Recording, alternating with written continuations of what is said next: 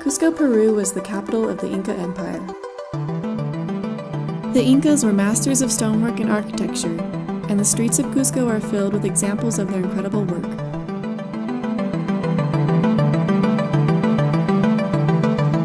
The city was destroyed in the 1500s, so the Spanish used Inca stones to rebuild Cusco, which explains the mix of stonework throughout the city. The stones have remained intact for over 500 years. Some fit so precisely with each other that a human hair cannot fit between them.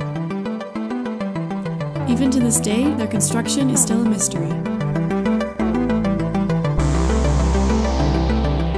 Cusco City is filled with Inca stonework, but the most famous example lies just minutes from the main plaza.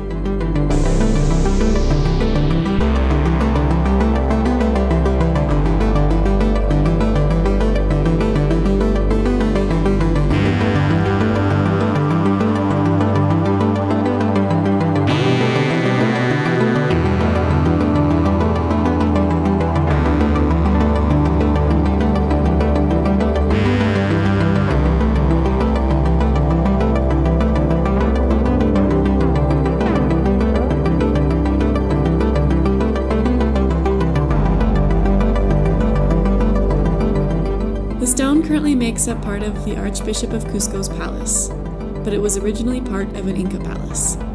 It is considered a national heritage object, and touching it is forbidden. The amazing 12 angled stone is free for everybody to enjoy in Cusco.